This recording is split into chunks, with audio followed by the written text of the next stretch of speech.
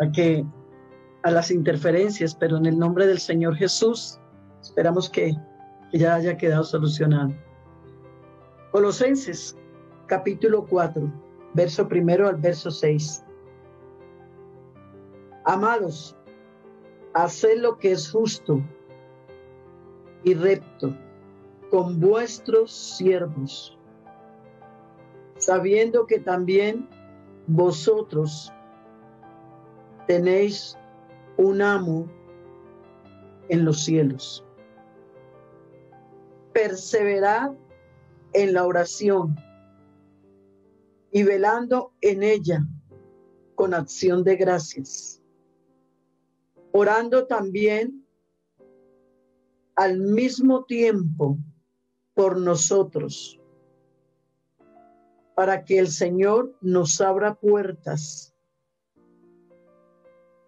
para la palabra, a fin de dar a conocer el misterio de Cristo, y por el cual también estoy preso.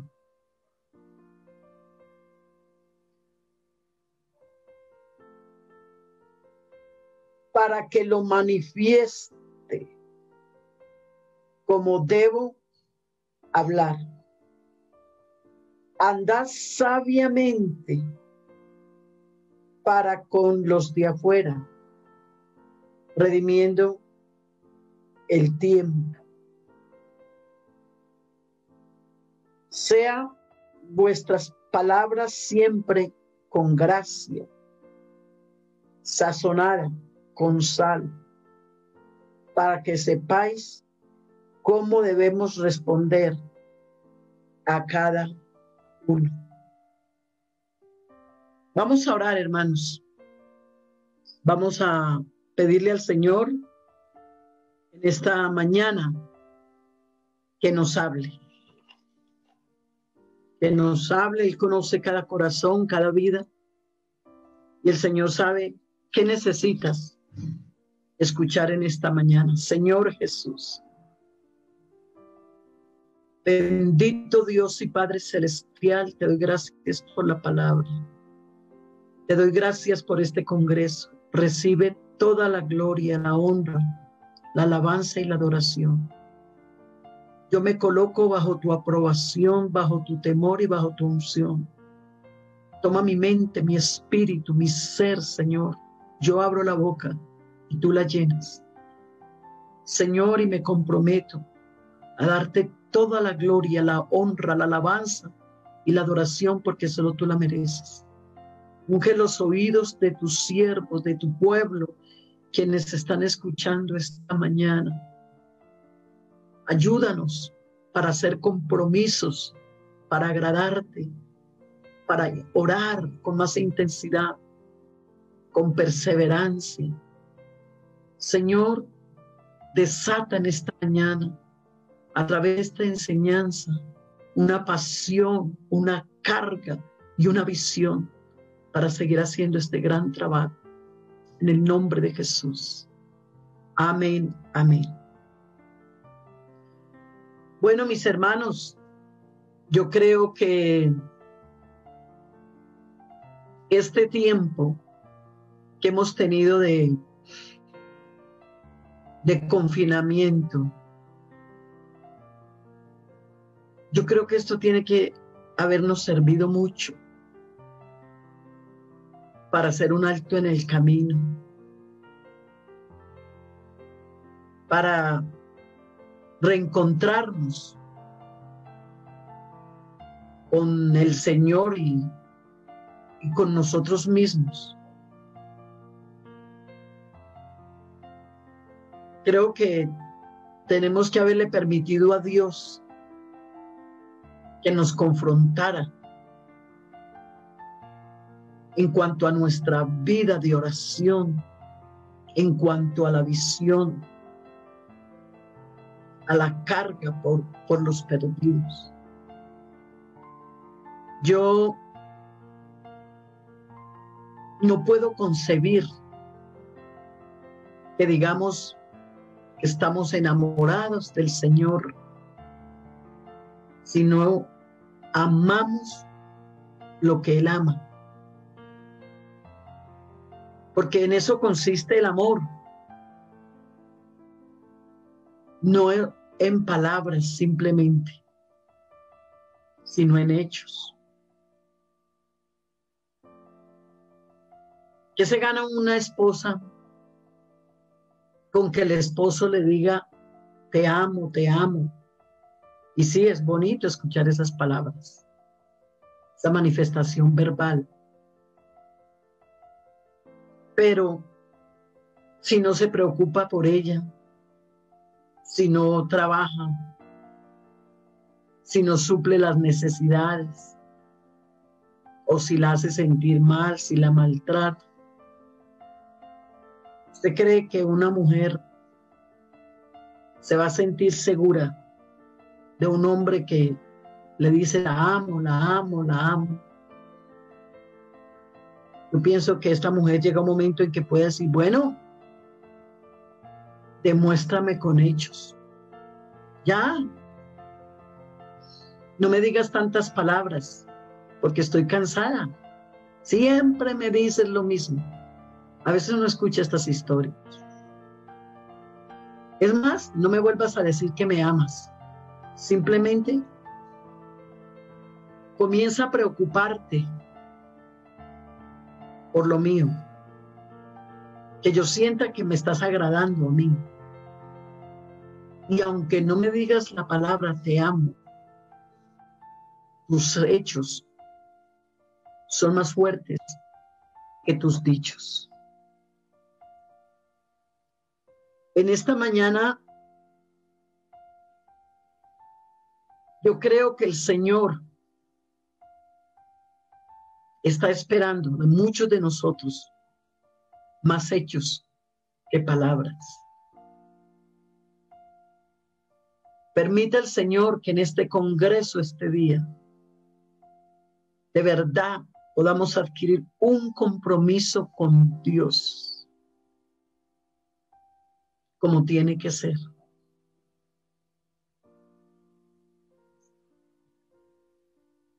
Tenemos que comenzar a regresar de nuevo a lo que dice la palabra de Dios. Y poder entender el lugar que Dios quiere que ocupe la oración en la vida nuestra, en la vida personal, en la vida familiar, en la iglesia.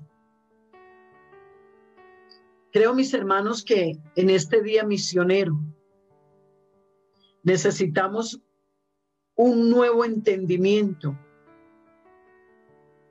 de lo que es la oración intercesora según la voluntad de Dios.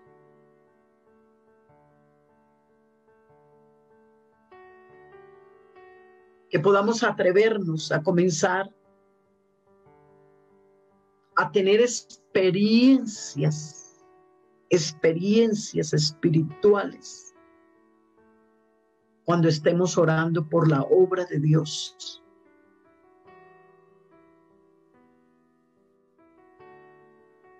Que esos encuentros con Dios, que esos, ¿cómo necesitamos?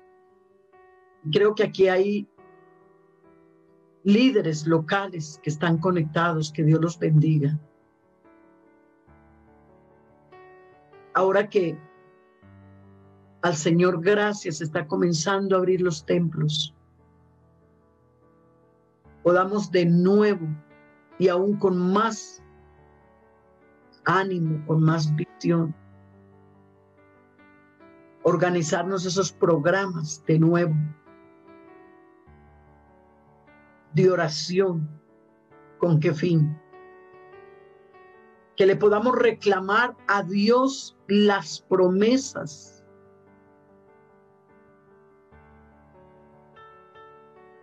Que no descansemos hasta que en nosotros, en su iglesia, haya el gozo que podamos traer a la tierra, a la humanidad.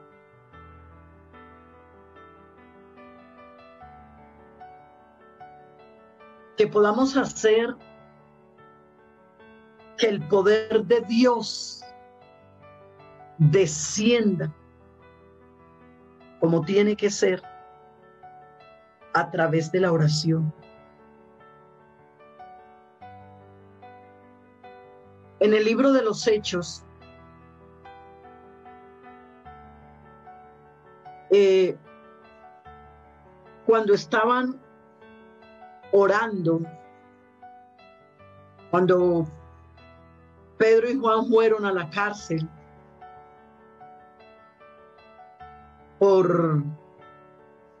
por, el cojo que se sanó. Ellos salieron y, y comenzaron a convocar a los hermanos para orar, para pedir valor. Pero en medio de todo ello, ellos están diciendo, para hacer cuanto tu mano y tu consejo habían antes determinado que sucediera. Y dicen, y ahora, Señor, mira sus amenazas y concede a tus siervos que con todo de nuevo hablen tu palabra, o sea, con autoridad, con unción, con sabiduría, con poder. Eso es lo que quiere decir. Mientras extiendes tu mano con señales, con prodigios, mediante al nombre de tu santo Hijo. Pero el verso 31 del capítulo 4 dice, y cuando hubieron orado, el lugar en que estaban congregados, o sea, orando, tembló.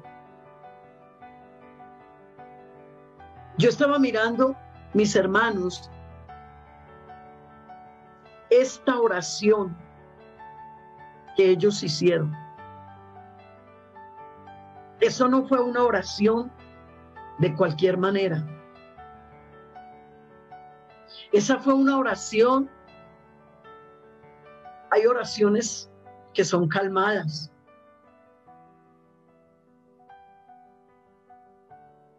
¿Por qué no decirlo como oraciones como quietas,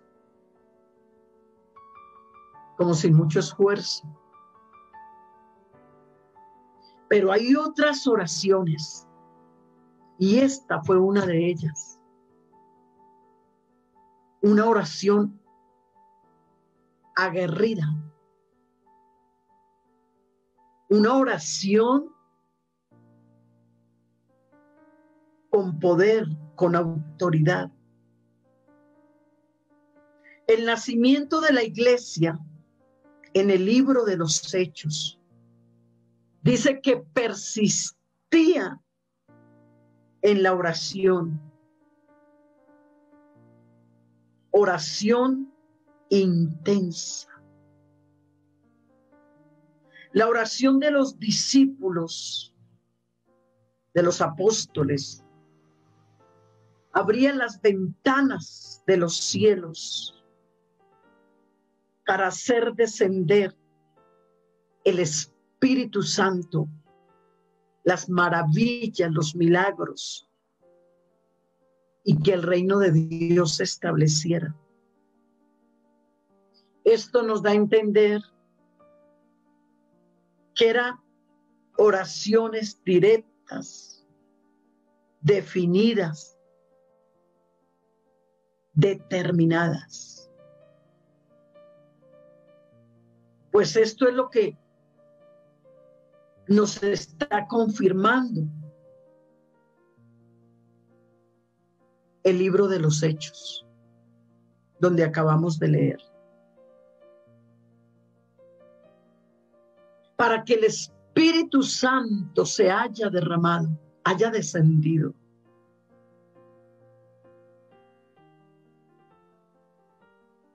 Tiene que haber habido una oración con pasión, con libertad.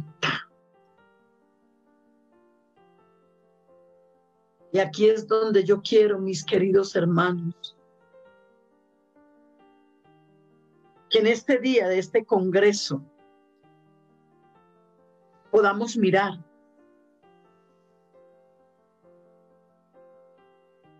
cómo estamos orando.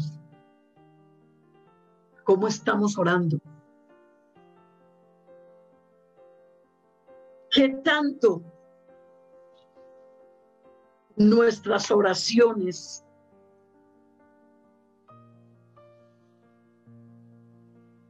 lo que aquí nos acaba de escribir el apóstol Pablo por medio de a los colosenses. Cuando Pablo está escribiendo, está escribiendo, dice que está preso. Como una persona que ha perdido la libertad ¿Quién quiere vivir en una cárcel? ¿Quién quiere estar en una cárcel? Nadie. Por eso cuando una persona cae presa, inmediatamente la familia gasta lo que sea. Si les toca pedir, piden. Hacen lo que sea para sacar a esa persona, para buscar un abogado, para ver cómo sacan la persona. Pero yo veo aquí al apóstol Pablo. No está buscando un abogado para salir. Más bien él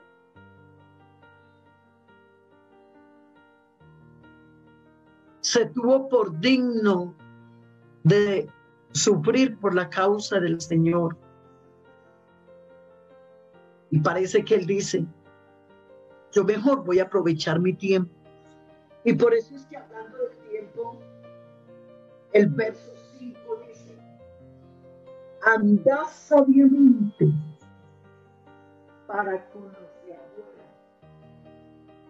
redimiendo el tiempo. O sea, aprovechando el tiempo. Y cada vez que este hombre estaba encarcelado,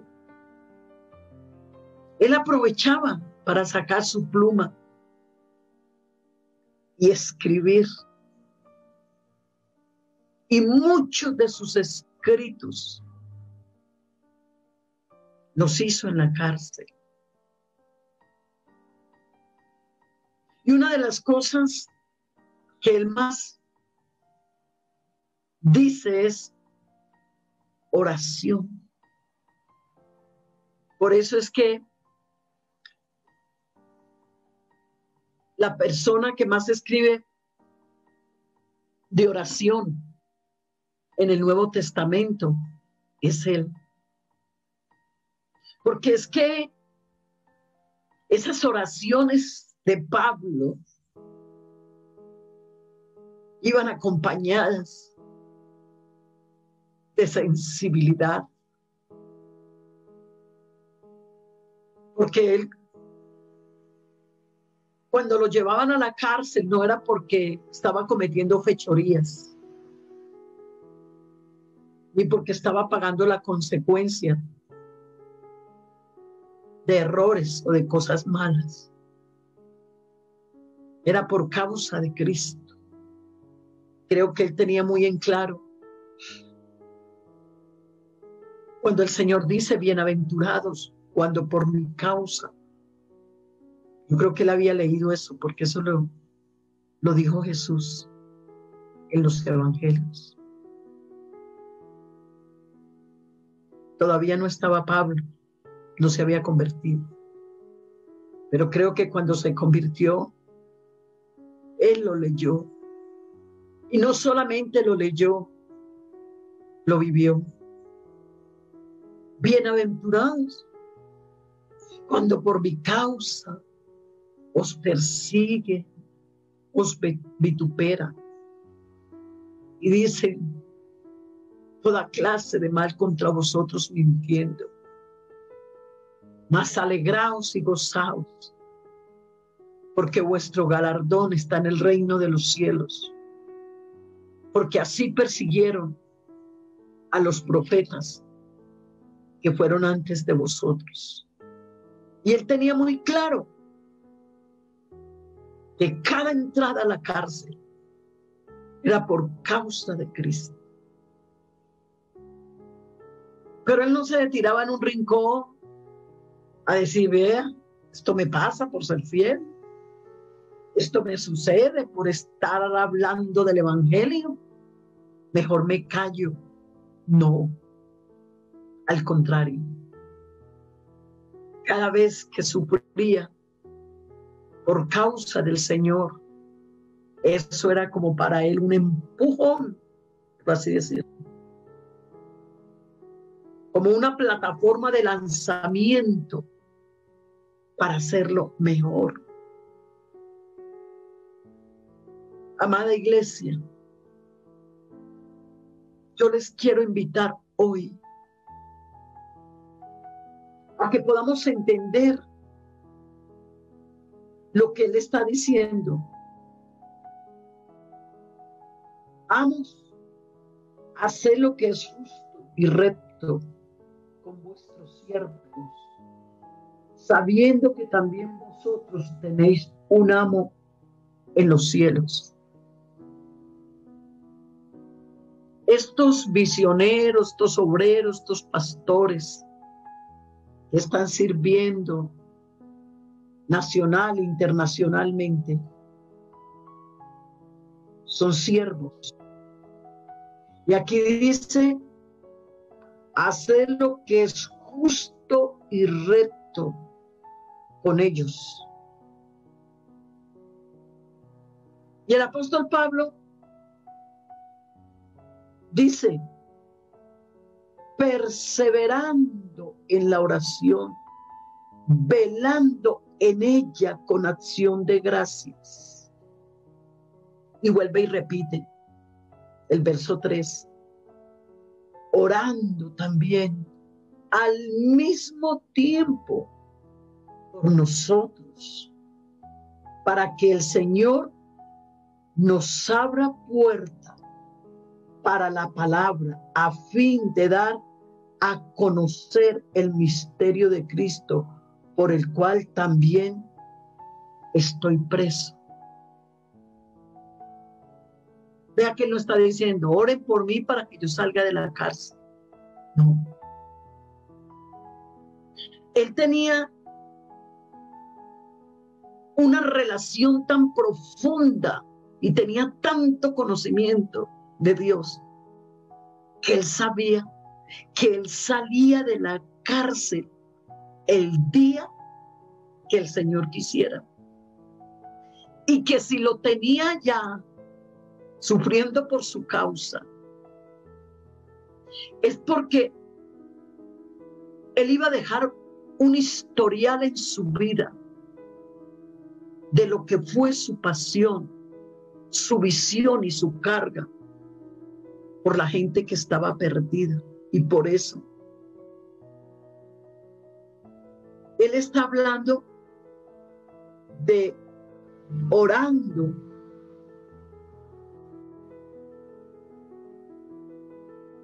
al mismo tiempo por nosotros para que el Señor nos abra puertas. Miren, estando preso para que el Señor nos abra puertas para la palabra a fin de dar a conocer el misterio de Cristo por el cual también estoy preso.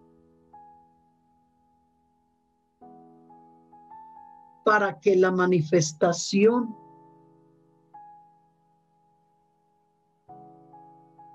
para que lo manifieste como debo hablar. Orando también por mí, dice él. Y en otra parte está escribiendo, Efesios lo está diciendo, orad por mí.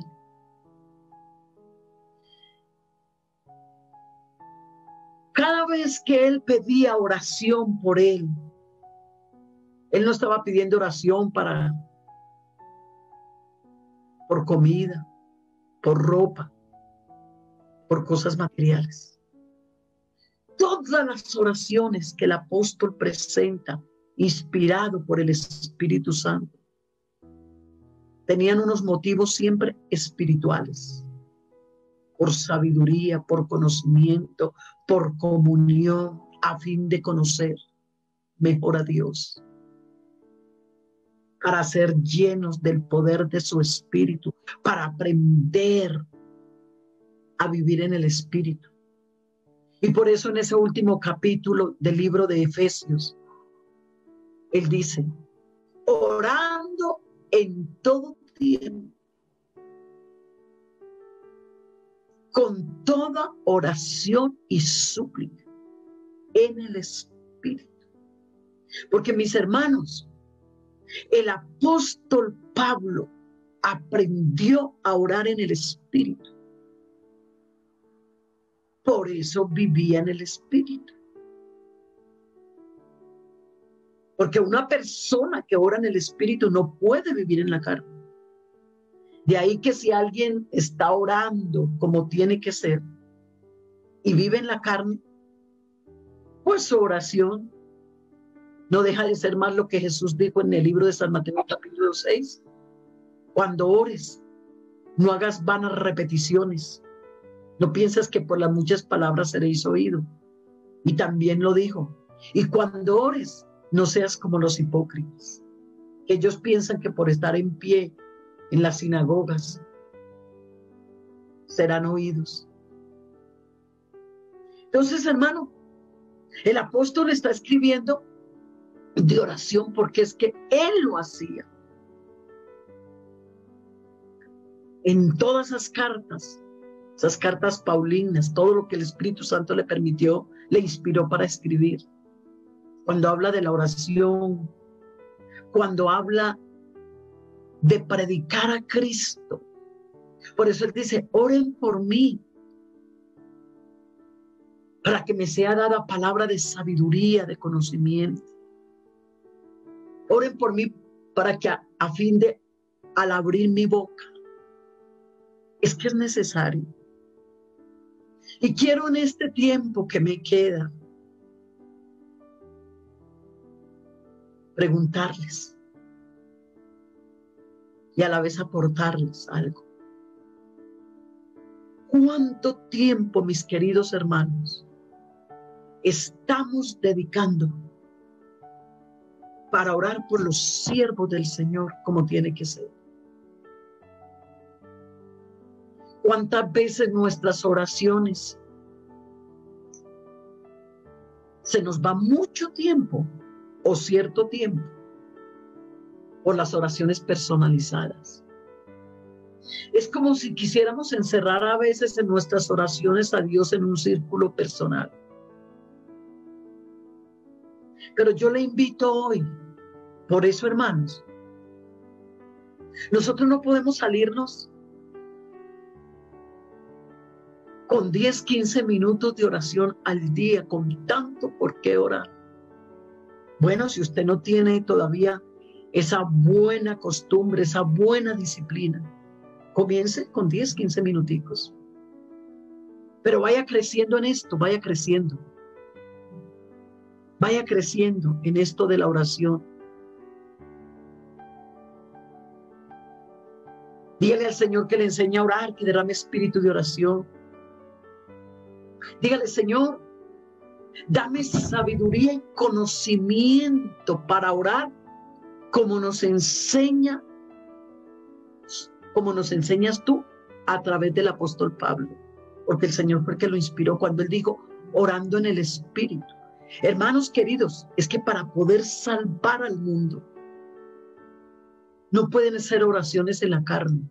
Y cuando uno entra a la oración de pronto en el momento que comienza, hay luchas en la mente, pensamientos, cuestionamientos. Y el enemigo sabe, cuando una persona se decide orar, el enemigo quiere venir a entretenerla, a llenarle la mente de cosas para que se la pase pensando o desconectado, hablando una cosa pero pensando otra. Es que la oración en el espíritu tiene que ir una conexión de la mente, del corazón, de lo que se piensa, de lo que se siente, para lo que se expresa. Para ello es muy difícil lograrlo. Yo sé que Dios escucha una oración de 5, 10, 15 minutos, claro que sí, y hay momentos que se hacen. Pero es que nosotros necesitamos dedicar tiempo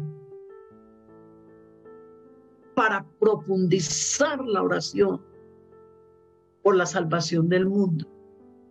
Por ejemplo, cuando el apóstol Pablo dice, escribiéndole a una iglesia, le dice, hijitos, a los cuales les vuelvo a escribir, tengo dolores de parto. A mí, créanmelo, mis hermanos, que esas palabras del apóstol me, han, me impresionan. Cuando él dice, tengo dolores de parto. Y las que somos mujeres, las que somos madres. Y los que son padres que han estado al lado de su esposa en el momento del parto. Esto es duro, esto es difícil. Cuando se está de parto no se hace una fiesta, no se llama cantante, no se dice, no, Cuando se está de parto ahí, el esposo, el señor, el esposo, y ya cuando se llega al hospital o a la clínica, pues los que tienen que ver con la atención médico, enfermera, pero ahí no llaman a, los pacientes, a los visitantes, vengan a mirar a una mujer de parto. Y además un parto tiene un proceso de horas, tiene que haber una dilatación. Entonces cuando Pablo dice, acerca de esos dolores de parto, yo he podido entender que es que el parto trae agonía, trae dolor, pero después trae felicidad cuando ya la criatura nace. Pero aquí es donde el apóstol en ese proceso de sentir ese dolor de parto era una agonía, era un dolor para que Cristo fuera formado en el corazón de la gente porque él tenía una sensibilidad, a pesar de que él no estuvo como, como, Pedro, Juan, Andrés, que estuvieron con el Señor personalmente. El apóstol Pablo, aunque no lo experimentó personalmente, pero yo creo que cuando él comenzó a leer la vida de Jesús y comenzó a ver que cuando veía las multitudes errantes como ovejas sin pastor, que sentía ese dolor en su corazón, porque sacó tiempo para sensibilizarse a pesar de que la pasaba tan ocupada. Noches que se iba a orar y cuando no era que se iba a orar la noche, se iba a descansar, pero dice, y muy de madrugada lo presentan los evangelios. Jesús se iba a un lugar, al desierto, a orar. Y muchas veces dice, solo. Entonces, al ver las multitudes dice que tuvo dolor, tuvo compasión. Entonces yo creo que Pablo, al leer esos escritos de la compasión de Jesús, y cuando él dice, rogad al Señor de la mies. Eso marcó la vida de Pablo. que envíe obreros a su mies. Eso involucró a Pablo en esa pasión, como yo quisiera pedirte hoy de todo corazón. Viendo la necesidad tan grande en el mundo, tanta gente perdida, mis hermanos. Millones, millones, por toda parte.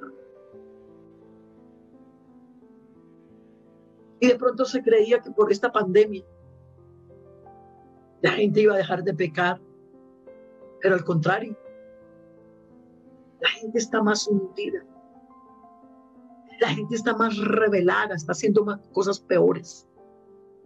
El encierro como que los llevó a hacer cosas peores. Mire esas noticias aquí en Colombia. Esas muertes violaciones, el aumento de la prostitución. Uno se sienta a ver esas noticias, hermanos, no encuentra nada bueno. La gente desesperada para que pase la pandemia, para seguir desenfrenada, que se abran los bares, que se dé libertad de, de consumir el licor,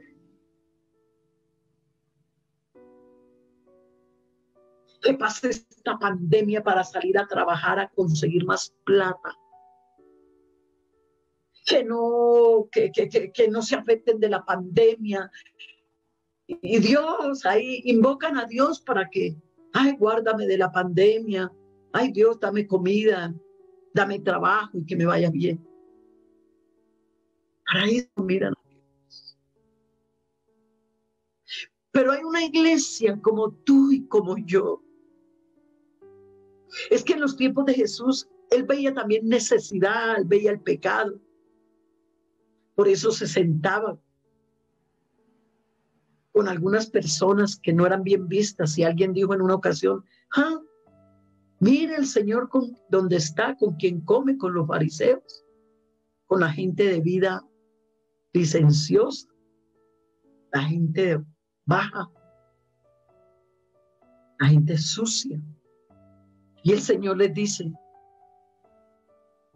¿y quién les dijo a ustedes que yo he venido a los sanos? Es que yo he venido a los enfermos. Porque el Hijo del Hombre no vino a perder las almas, sino a salvarlas. Porque el Hijo del Hombre vino a buscar y a salvar lo que se había perdido. ¿Cuál es el propósito, mis queridos hermanos, de esta reflexión esta mañana? que te deje marcado este congreso hoy con un compromiso. Que digas, yo no puedo seguir orando con la misma frialdad, con la misma indiferencia, egoístamente. No, yo tengo que cambiar. Si usted quiere que su relación crezca con Dios, atrévase a salir de las oraciones rutinarias, de las oraciones religiosas, porque el Señor dijo, y cuando ores, no hagas vanas repeticiones, oraciones religiosas. Y claro, venimos, a lo menos yo, llegué de un mundo católico donde rezaba mucho. ¿Y cuántas veces nuestras oraciones pareciera, con todo respeto, lo digo como que estuviéramos rezando, no pasa nada. Hermanos, nuestra oración, si Ana, cuando se fue al templo, solamente por pedir un hijo, dice que oró largamente y lloró abundantemente. Claro, ese fue el primer profeta que nació. Y ella más que ser egoísta en querer tener un hijo para saciar el instinto de maternidad, era porque había una necesidad espiritual, eso lo sabemos. Pero yo digo, si ella pidiéndole ese hijo al Señor, lloró abundantemente, lloró largamente. ¿No será, mis queridos hermanos, que vale la pena que saquemos de nuestro tiempo para que es lo que dice el Salmo 123 se convierta en una realidad. Esto es agradar a Dios. Esto es tener contento a Dios. Vean mis hermanos. Cuando a Dios lo tenemos contento. Oh, hermano, eso es tener a Dios de parte nuestra. Que nuestras oraciones, ¿te has atrevido alguna vez a decirle, Señor, que agrada lo que yo oro? Por eso creo que en este tiempo de, de confinamiento nos quedó mucho tiempo para analizar cosas. Y si no lo has hecho, todavía tienes un tiempito. A que te atrevas a sacar un tiempo para revisar y preguntarle al Señor, así como dice, Señor, mi vida te agrada. Ese negocio que estoy haciendo te agrada. Lo que mis ojos ven te agrada. Lo que mi mente piensa te agrada. Si usted quiere que ese texto que dice, mis ojos pondré sobre los fieles de la tierra para que estén conmigo, el que anda en el camino de la perfección, este me servirá. Atrévase a preguntarle a Dios si le agrada lo que está haciendo. O si no en la oración, Señor, quítame lo que me sobra y dame lo que me hace falta. Pero también atrévase. Y cuando usted le, le pregunta al Señor, Examíname, muéstrame. Usted está limpiándose, purificándose. Usted está oliendo más a Dios, a su santidad, y usted comienza a crecer. Hoy le invito a que saque tiempo para cuestionarse, no para que cuestione a otro, porque a veces somos buenos para cuestionar a los demás. No, yo le invito para que le diga, Señor, yo quiero que tú me muestres y como yo estoy orando, por la obra tuya en el mundo, tú estás contento. Porque a mí lo que me interesa es que mis oraciones te satisfagan. Porque al fin y al cabo, es a ti a quien oraré, como dijo David. Que el Señor escuche mi A ti oraré de mañana, a mediodía y de tarde. Oh Señor, escucha mi oración.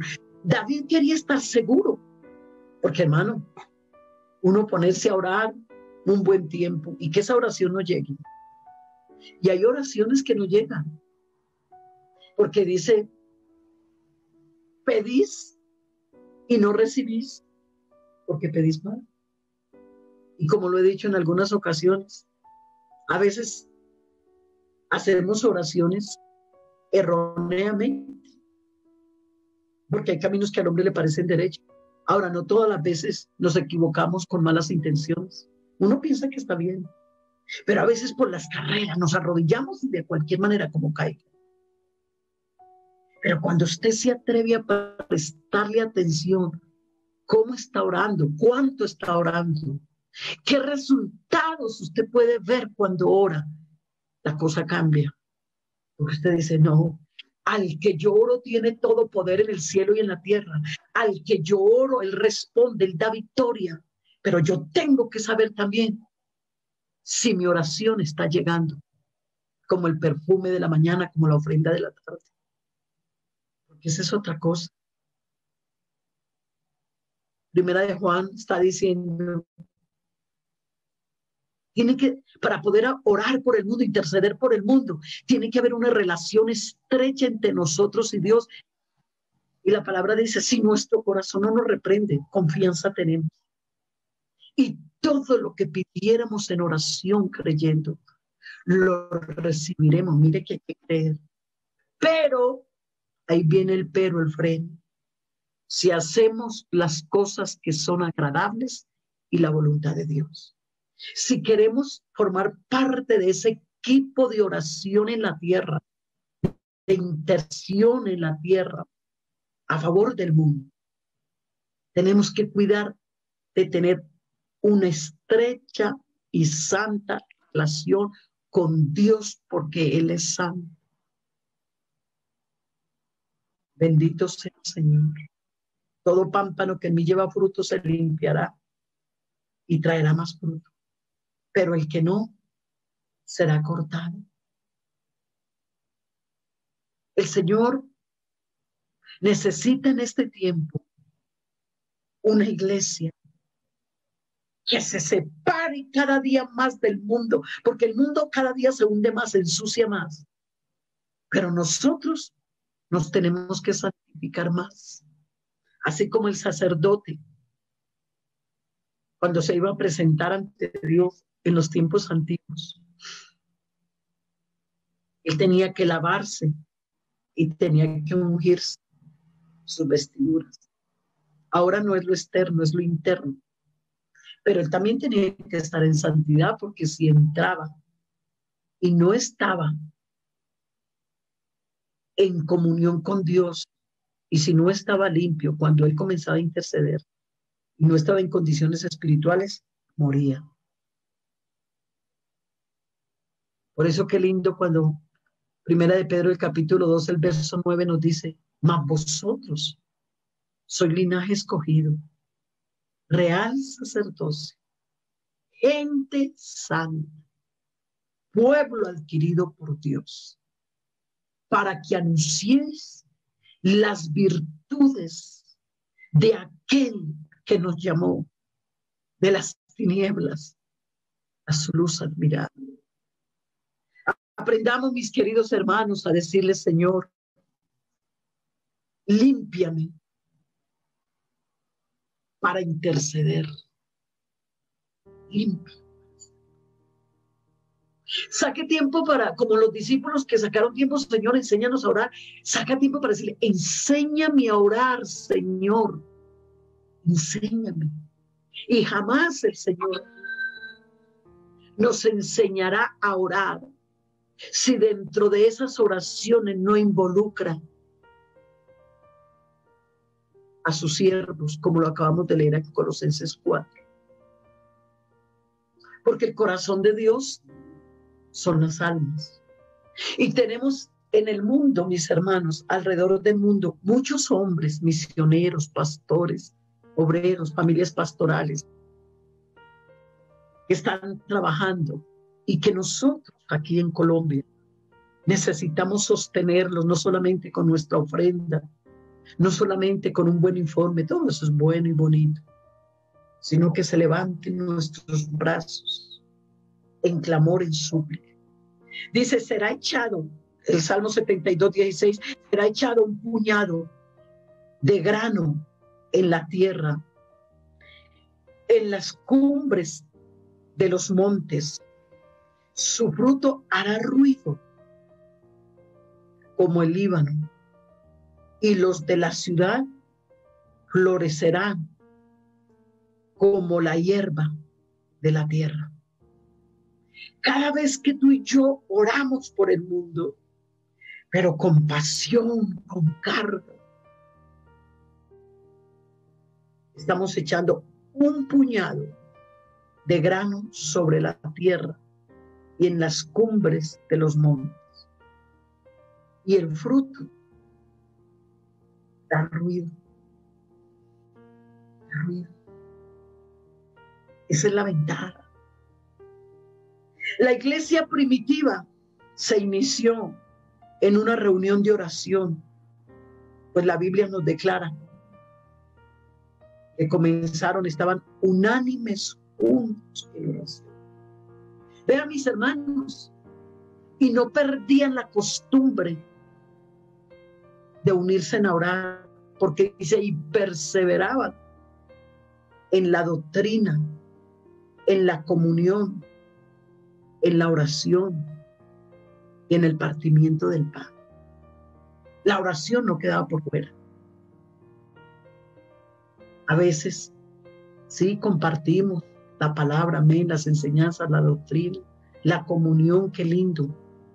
Mira cuán bueno y cuán delicioso es habitar los hermanos juntos en armonía. El pan, después del culto, la cafetería, es decir. Pero a veces nos es difícil unirnos en oración.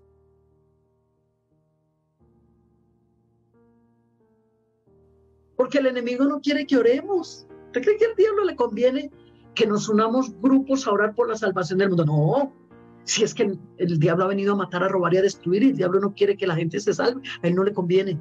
Por eso nos entretiene en una cosa, en otra, en compromiso. ¿Y cuántas veces, mis hermanos?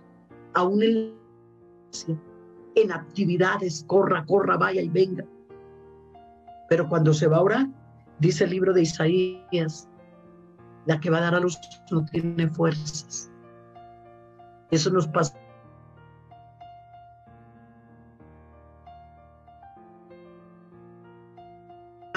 fuerte. Porque si no puja, la criatura se puede enredar el cordón umbilical y muere. ¿Cuántas veces ha pasado? Ya tiene que saber en qué momento. De igual manera, si Isaías dice la que va a dar a luz no tiene fuerzas, se refiere a que nosotros necesitamos para poder orar. Hay momentos en la oración por el mundo que necesitamos atar y desatar. Por eso dice, todo lo que atares en la tierra será atado en el cielo, todo lo que desatares en la tierra será desatado en el cielo. Si yo por el Espíritu de Dios echaré fuera demonios, hermano, el mundo está endemoniado, endemoniado por la incredulidad, por la fornicación, por el adulterio, por el homosexualismo, el lesbianismo, por la hechicería, por la mentira, por el robo, por el engaño, por la prostitución, por la idolatría, por el egoísmo, por los celos, por las iras, por las contiendas, por todo eso, por las injusticias. ¿Cuánto tiempo estamos sacando en nuestras oraciones para atar todo esto? Todo eso que perturba, que impide, que tiene atada a la gente, yo recuerdo que éramos pastores en un lugar. Llegó una pareja y estaban muy atados por la avaricia, porque tenían mucho dinero. Ella por la vanidad, él por las mujeres y por el trago. Y él decía, no puedo dejarlo, no puedo dejarlo. Pero comenzamos con un grupo a orar. Yo recuerdo que decíamos en el nombre de Jesús, atamos ese espíritu de avaricia en ese hombre atamos ese espíritu de adulterio porque como tenía tanto dinero y atábamos, atábamos.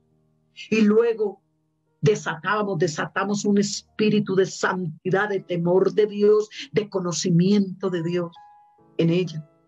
Atábamos esos espíritus de orgullo, de altivez, de vanidad y desatamos espíritu de santidad, de temor de Dios, de piedad atar y desatar, eso es bíblico.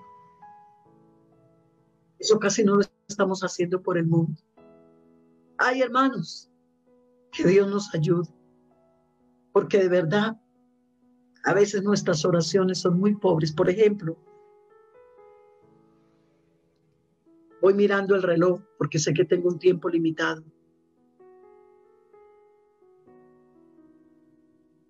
Diez minuticos, diez, doce minuticos más porque todos me entregaron tanto.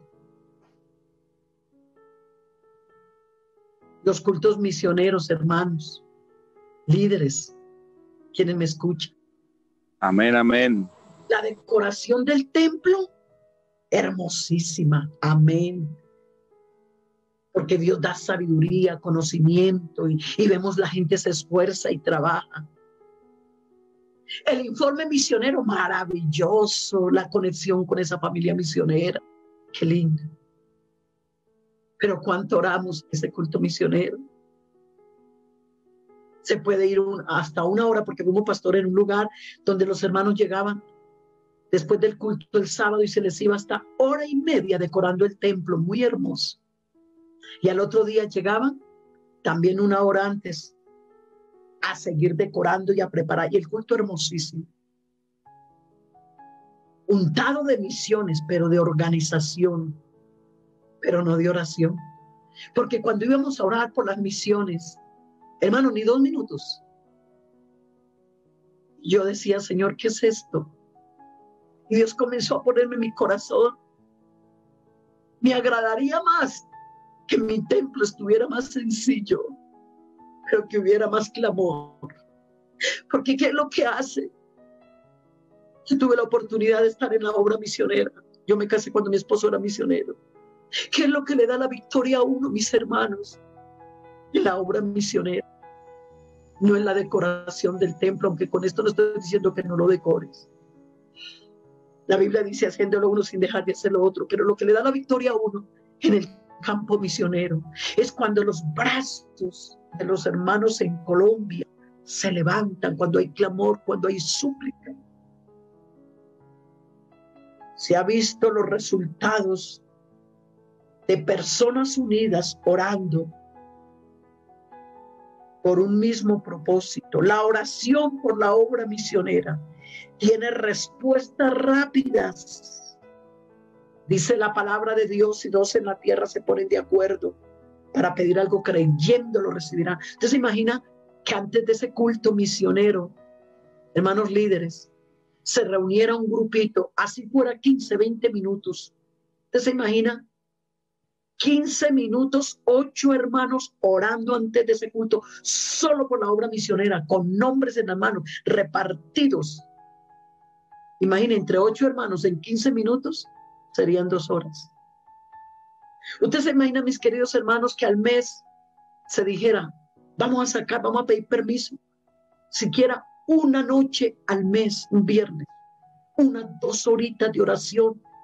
Y ahora que los medios, que misiones, todo eso mantiene muchos informes y, y, nos podemos empapar, hoy en día hay mucha forma para tener esos nombres de esos misioneros y reunirse con un grupo de hermanos, solo aclamar por la obra misionera.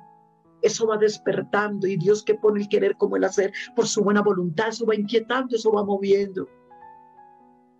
Una sola vigilia les pido de dos, tres horas al mes por el mundo. Aunque sea una sola mañana, aunque sea, no te pido más. Hombre, si se hace todo el día, gloria a Dios. Pero a lo menos mediodía que se dedicara a orar por el mundo entero. Porque a veces nuestra oración es, Señor, bendice a los misioneros, porque como no hay tiempo, Señor, bendice a los misioneros, ayuda a los misioneros. Y como dice mi esposo, los misioneros tienen nombre. Tenemos que aprender a identificar los países, las necesidades. El apóstol Pablo dijo, dando instrucciones de oración, lo ha dicho mucho. Exhorto ante todo a que se hagan rogativas oraciones por todos los hombres. Ve, hermano, esto no es un pensamiento de la hermana Luz Marina. Esto no es un pensamiento humano. Es que el Señor inspiró precisamente al preso Pablo, que escribe aquí en Colosenses, donde leímos. Exhorto, o sea, llamo la atención. No dice ni siquiera como escribe en otras partes, os ruego, hermanos míos, hijitos míos. No, aquí él se puso duro. Exhorto, llamo la atención. Y tenía autoridad de hacerlo. ¿Sabe por qué? Porque no solamente fue un hombre que escribió de oración, es que su vida era oración.